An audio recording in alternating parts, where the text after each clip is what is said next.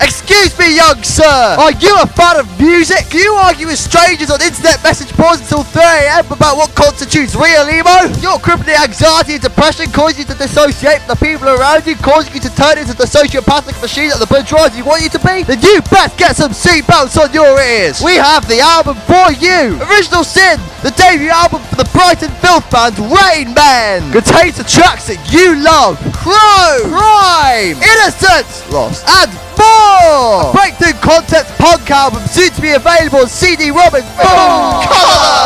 Oh wait, hang about. Some colours! Just whack it in your doors and it's ready to go! After like 45 minutes of installation time. It even contains a booklet which makes a fantastic coaster! Or a beautiful frisbee! Or like, you know, you can just read the RainMen, Original Sin, coming to a Bandcamp near you on the 13th of April 2018. Don't be a Order now and get a ticket to the